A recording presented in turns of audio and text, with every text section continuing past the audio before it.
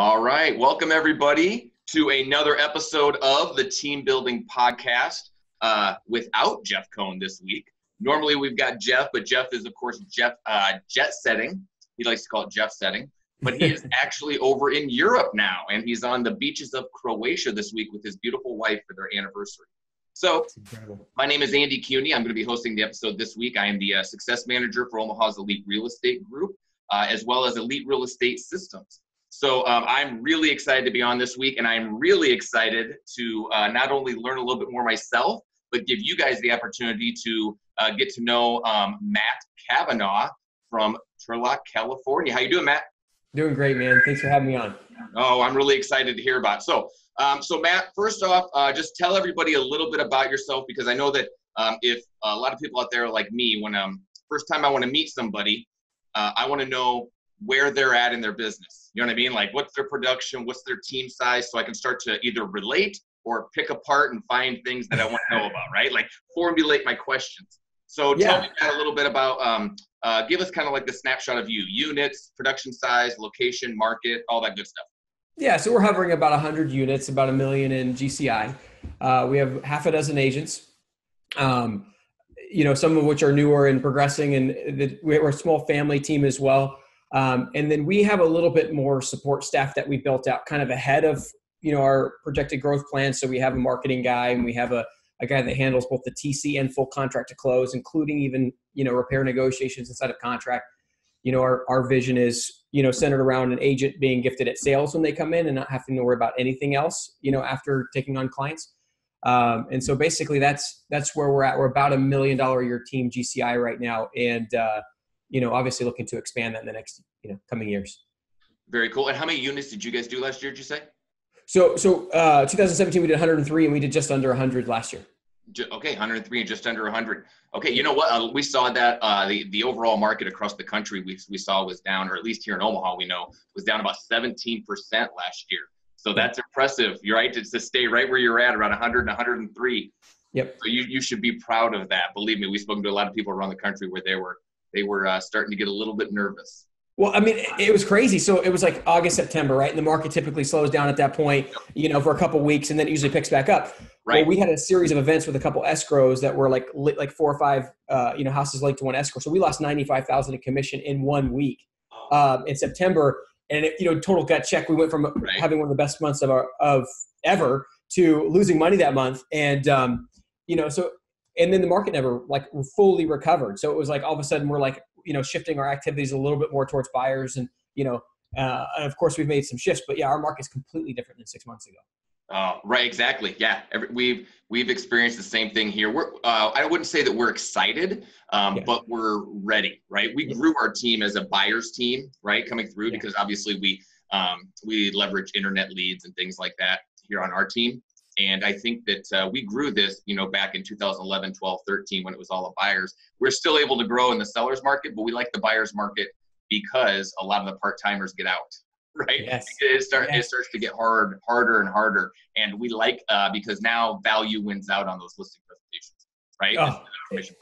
Well, it's wonderful. So, like, one of the things that I love, you know, doing some listings, and and I'm not like a, I'm actually a very small part of our team's production at this point, but like um, the thing that I love is all of the data in our market is pointing that the prices are going to go down. Like when you look at the five economic indicators in terms of, so for me, like before when I was going after expired, which is a lot of our business, it was actually hard to tell somebody to sell now because the indicators were that the market was going up for all these years.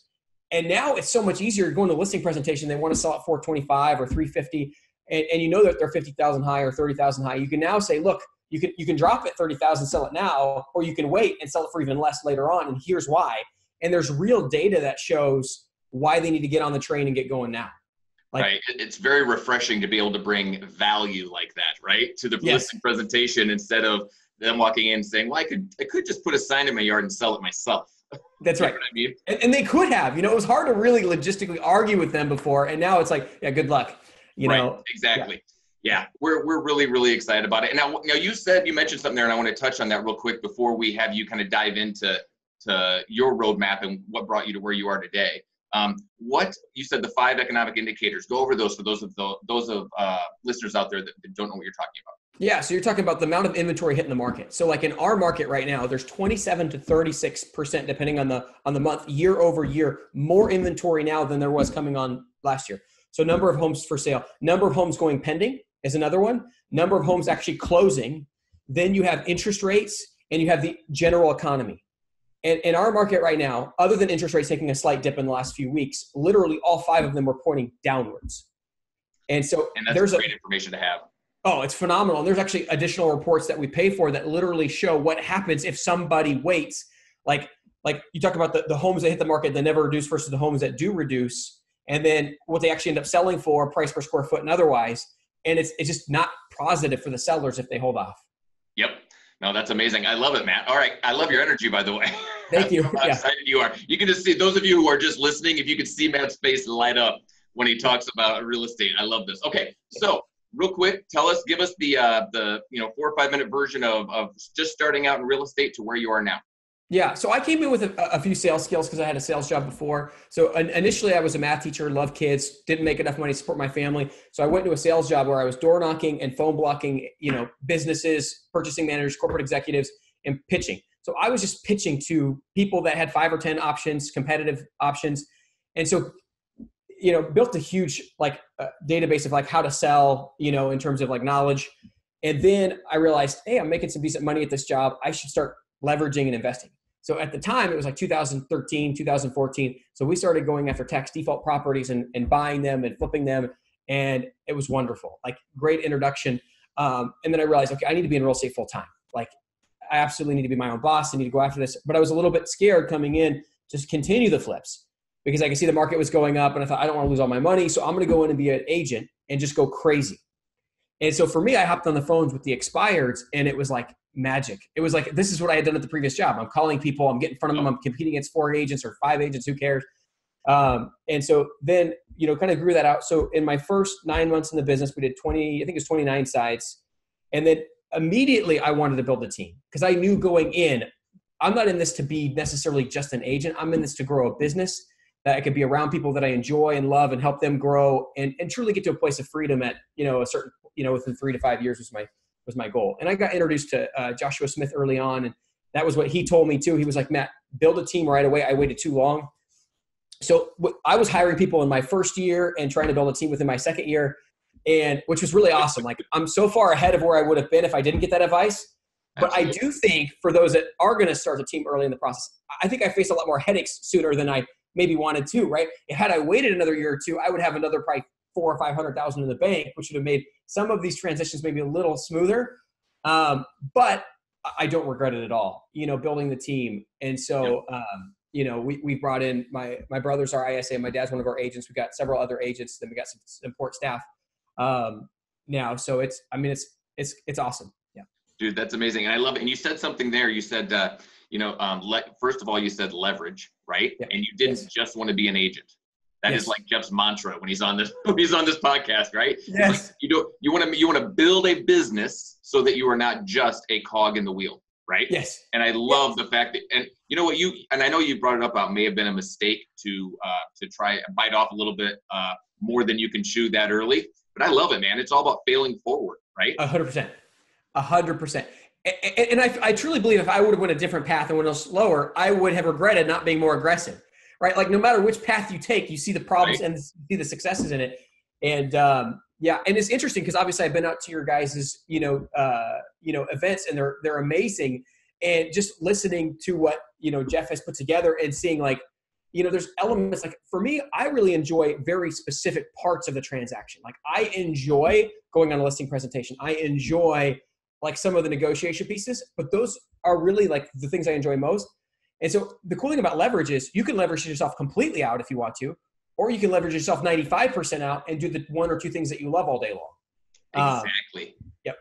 Exactly. So now, okay, so explain that. So you love the listing presentation, right? You love the negotiating, right? Yes. So how have you leveraged those other things so that you can just focus on the things you love to do? Because obviously, if you love to do them, you're going to do them well right? Yeah. So how have you so. leveraged those other aspects of the business? Yeah, so we have a full-time marketing guy that literally posts stuff and runs the pictures and runs all that process, and then we have a guy that's both a TC and a contract to close. So a licensed agent that is doing some of his own production, but literally, like, we take a signed listing agreement and I talk to the client if and when I need to, which, you know, it, Nate can handle 100% of it. So, literally, like, you know. So now you go do the listing presentation, you get it signed? Uh, yeah, and, and, not even always because we have listing agents too. So like you know, right. like like for for example, I love like I I can like a sphere can come to me, I can get them signed up, and then literally I can talk to them once or twice more in the transaction, make sure everything's running great for them, and then they're completely in great hands. Like that's that's what I love. So it's just you know for me it's it's it gives me all the time freedom in the world to try other things. Uh, well, to build your business right? Correct. To actually work on building that business. You get to turn around and invest your time, which is obviously the greatest ROI, right? We everybody always talks about ROI, and we like the uh, the uh, the uh, ROT, the return on yes. our time, right? Because that's our that's our number one um, uh, resource. Yes. So if you're able to not only spend your time doing the highest dollar per hour activity, but then you have all that extra time to turn around and invest it into your team.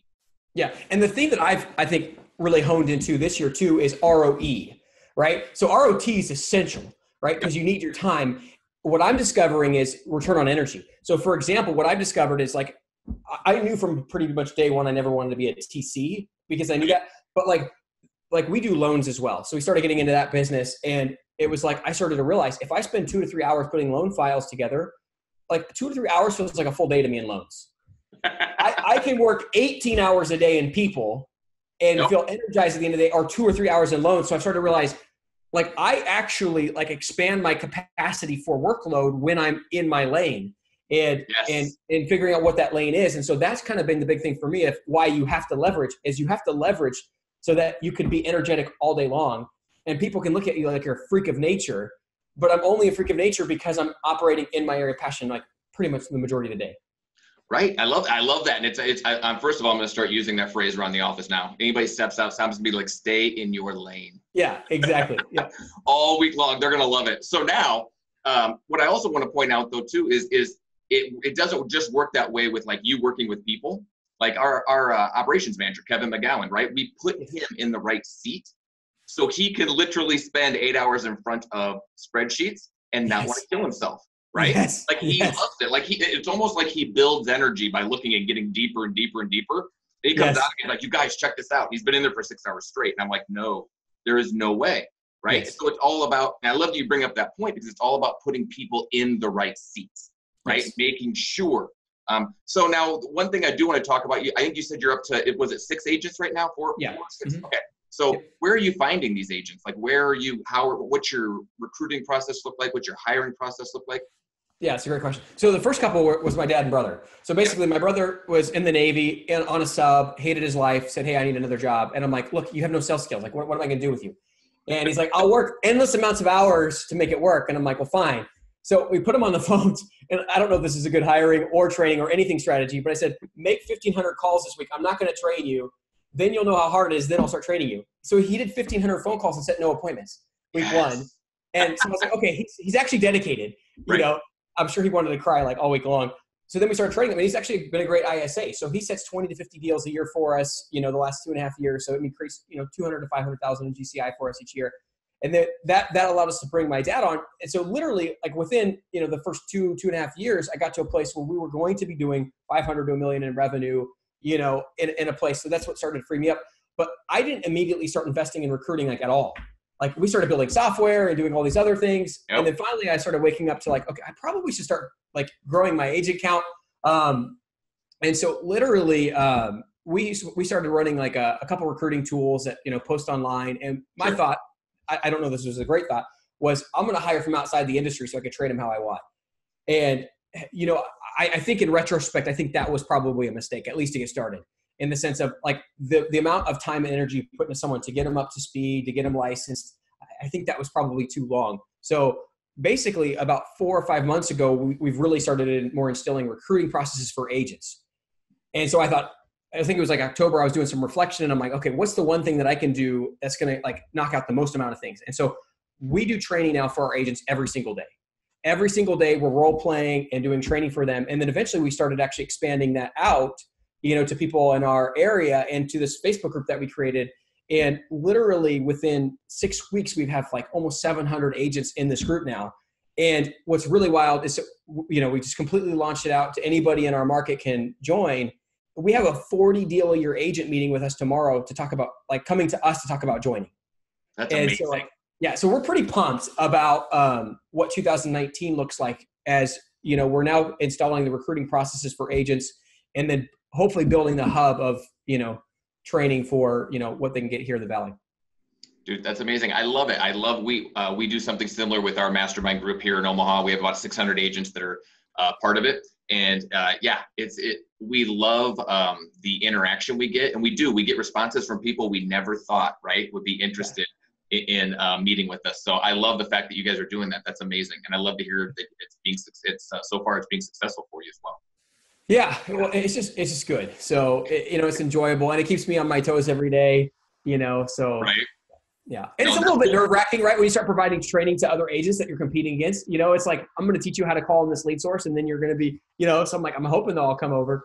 Um, you know what? And here's the thing is we've done that before. Right. And, uh, uh, and this is kind of one of those famous stories. I'm sure I'm sure you guys have heard Jeff tell it, but we we just we laugh every time we bring it up.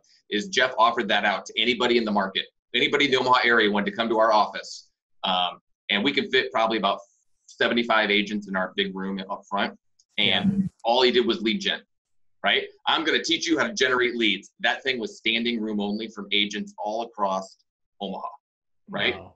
big hitters brand new agents everybody just wanted to know. And he yeah. said hey now next week come back because i'm going to teach you how to convert those leads and the accountability you need and the follow-up and all of that right? We had three agents show up three three three right nobody went and so that's why we've always we've always talked about, and I love the fact that you bring up that point, right? Is training others and and giving, right? Yeah. receive is everybody's always worried about protecting their secret sauce, right? Yeah. And and yeah. so every time I, I see people say that, I'm, I'm like, you know, it's it's uh, I we know the ones who are successful, we know how hard it is. Yeah. Right. Yeah. And so yeah. I'm fine telling because everybody wants to show up and say, well, what's the secret sauce or what's the silver bullet? Yeah. Right. Hard work. Oh, 60, well, 60 to 80 mind. hours of intentional work. Yeah. Right. Exactly. Right. So yeah. failing a lot, failing twice as much as anybody else is even willing to attempt. Right. Yeah. You know what I mean? So mm-hmm. yeah. And, and I, I remember uh, we worked with a specific CRM here. We did a training for another team here in town. Uh, three hours. We went over and just showed them the ins and outs of the CRM and how we were killing it. And afterwards, they said, "Wow, thank you so much. That was really great." We're like, "Perfect, man. Do you want us to come back in, in, like a few weeks for a refresher?" And after you've had a little time to play with it, and they said, "Oh no, we're gonna get rid of it." and we said, "What?" And they said, "Oh yeah, if it takes all of that to make it work, we don't need it. we're not even gonna mess with it." And so right then and there, we kind of sat and we're like, "Wow." You know what I mean? You don't ever have to worry about hiding it because the secret ingredient is always going to be hard work. You know what I yeah. mean? Energy, yeah. putting people in the right seats, all of that kind of stuff. So uh, you know what I mean? So exactly what you said, man. It's exactly yeah. what you said. I, I love the fact when I hear other people say it, and you said it so confidently. You know what I mean? You're like, yeah. like duh, like it wasn't even a question. Yeah, yeah, that's great. So I love it, man. So tell everybody, um, like, do you uh, uh kind of a little bit of the specifics about you now? Like, do you guys use a CRM? Do, uh, do you, um, what where do, what what do you guys do for lead gen? What's that kind of stuff? Like? Yeah, so obviously we have expires and FSBOs and several mm-hmm. sources to get those data in and imported every morning. Um, and then for buyer side leads, of course, sign calls and some other, you know, advert ads we run on the internet, and then a ton of Facebook leads. So okay. we're we're running anywhere between 500 and maybe 1,200 Facebook leads a month that come in. Wow, and, that's awesome. Mm-hmm. Five to yeah. 1,200. And are you are you pixeling all of those correct? Mm-hmm. And who does that for you? Do you guys uh, do mar- the, the mar- Yeah, the marketing guy that we have. Perfect. That's awesome. Okay, so uh, we just have a few more minutes left here. This has gone really fast. I'm amazed. Okay, so um, tell us a little bit um, about uh, one thing. One more thing I want to touch on before we let you go is um, how do you or what do you do to create a culture within your team? Obviously, starting out with your dad and brother, right? So you guys had a really solid bond. But how do you bring outsiders in like that? You know what I mean? To kind of uh, I don't know, keep building the business like that, but still keep that culture. Yeah, I think first of all, obviously it always starts with the team leader, right? And the tone that they set. And for me, like, you know, just knowing my own personality, like, I'm a giver. And so I, I, would rather like I would rather sacrifice personal income, sacrifice a lot of things to to give to people. That's just kind of who I am. Yep. And so it's important to me that we're bringing in that type of person. And so a lot of it's in the interview process. So we have a, a, a fairly extensive interview process for people to join the team. Um, you know, it's usually five to seven steps depending on experience and process and whatnot. Um, and we go really deep into their personality assessment. So, for example, um, I don't know if you guys have heard of the Enneagram, but we use the DISC for sure. And then we actually give people the Enneagram, and it gives us an immense amount of insight into how their brain thinks. And there's actually certain Enneagram numbers that are far more culturally beneficial than others. So, for example, like when you look at the disc, you're talking about typically you're looking for a DI or ID, is what most people say in terms of that. The challenge is that a lot of DIs, you know, they want their own way, and you know, right. So, but what we feel like is the Enneagram gives us a better, more complete picture of what that DI is like, where that energy, where that desire to dominate is stemmed from. And, and so, so that that's been really helpful in kind of assessing on that level in terms of you know what numbers play well in our space and uh, yep. Okay, cool. So I think there's probably a lot of people out there right now. They're like Enneagram, and they're trying yes. to Google it, right? Like somebody yeah. just got off of their treadmill, and they're like, "Hold on," and they would yes. so spell it for everybody just so they know. Yeah, it's E N N E A G R A M, and there's nine personality types. And of those nine personality types, there's three that are inherently built for sales. There's two more that can probably do sales if they really push themselves. And then there's another three or four that should probably never touch a phone or any type of sales ever, because even if they could get good, it probably wouldn't be good for them internally. Um, and so and that, that goes those, back to what you said earlier: is be happy what you're doing, and then you get that uh, return on energy.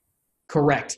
Yep. So the, yeah, so for example, the three sevens and eights, they they are the most extroverted numbers on the enneagram, but they all value different things. So some of them value being the achiever, and some of them value challenge, and some of them value fun and exploration. And so depending, like what we're like prototyping is which ones are best for buyer leads, which ones are best for seller leads, which ones are best for this or that. Because in our process, because we have an ISA, people have three options. They can have leads set for them, like appointments set for them. They can take our leads and convert them, or they can bring in their own stuff. And we're noticing that some of the numbers are better geared towards cold sales, and some are better geared towards nurtured buyer leads and things like that. So, dude, that's awesome. That's really interesting. Do me a favor, if you wouldn't mind, will you send me a link to that? Because now I'm going to give that test to everybody on my team and see how well we've done. oh my gosh, I want to see the results. Like, right? Exactly. like I'm literally dude, like yeah, yeah, absolutely. And, and and see like like where are the top performers and what what's causing yep. them to be successful. Yeah. Right, and see, and then uh, not only are they top performers, and they follow with them, what type of leads are they working where they're having success? Because we always talk about that. It's like we feel everybody just starting out is work those three buckets, right? Internet lead gen, sphere of influence, and then prospecting, right? Going out and finding finding your business. And we always tell people um, is once you've figured it out though and found out what you're good at and what you enjoy, you don't have to do the others. That's right. right. Yes. Now we're starting to focus on the return on time, return on energy, right? Yes. And actually yes. do what you like to do because yes. then obviously then you get down the whole, you know, step back and take the 10,000 foot view of, well, now you're doing what you love. And so then are you really working? And you know what I mean? And all that kind of stuff, yeah. but it's real, right? It's, it's totally real. And that is our job as leaders to make sure that we can help these people get to that point. Right? Agreed. Well, it's just been like building a team. It's so crazy because I'm like, some people will never ever want to call their sphere ever, ever. Like, and they never want to call a lead twice. Yep. But they'll call new people all day long. And then other people are like, I do not want to call a new person. I will call the people I know all day long. Yes. You know, it's so weird how we're wired so differently. Yes, um, absolutely, man. I, I absolutely, I love it. I, yeah. Oh my God. Okay, so I hope you come back to out to Omaha again. yeah, I would love to. This was yeah. a lot of fun. Okay, yeah. so real quick, um, I know that uh, we're gonna have a lot of people um, who are gonna love this episode. So do me a favor. How can people get a hold of you if they just want to reach out to you, mastermind, uh, bounce ideas off you? What? Where do they go? I, I mean, I'm pretty accessible, so they can hit me up on Facebook. They can hit me up on email, uh, matt at teamcavanaugh.com, or you know, even by phone. So I can shoot you all that info to post in the link or you know, in the description or whatnot. But absolutely. Perfect. Yep. That's awesome, Matt. I appreciate it. And uh, I just want to give one shout out here. We are going to be the next Omaha, or I'm sorry, the next Elite Real Estate Systems event is going to be um, uh, that'll be here in Omaha. Is going to be the uh, Berkshire Hathaway shareholders event. That's so it's awesome. something kind of cool. Um, we actually do our team uh, team work team building workshop here, but we do it on a Friday instead of a Monday. You're with us all day long um, with Jeff, Kevin, and myself. Um, and then after that, we we all go out to dinner and drinks that night. And then the next day, we shuttle you guys all down in um in a uh, a limo bus, which I didn't know that was a thing, but yep, we've got them. Awesome. So a limo bus, and uh, we take you all down to the um the uh, stadium downtown, and you get to see Warren Buffett, Charlie Munger, you get to see Bill Gates, it's it's you know what? It's one. It's something that you should at least try to do once. Agree. Just to see it. I've been like probably three or four times now, and I rarely ever get close to Bill. I give my wife my ticket one year, and she ends up sitting next to him while he's playing ping pong. No. And I'm like, how does this happen? Of course, she's a pretty lady. so, of course, that could help. Yeah. You know, you know, it always seems to work out that way. So yeah. anyway, if you guys ever want any more um, information about our upcoming events, stuff like that, uh, feel free to reach, uh, go to the website, eliterealestatesystems.com. Um, and again, we'd love everybody to check out the podcast there. You can see all our past episodes. And if you like what you hear, please give us a five star review. I think we're on Stitcher and iTunes. And um, yeah, man, Matt, I really appreciate it. I loved your energy. I loved your story. And I thought you brought a, a lot of really good information to our audience today. I appreciate that, man. Thanks for having me on. That's awesome, man. All right. And that's a wrap, guys. See everybody next week.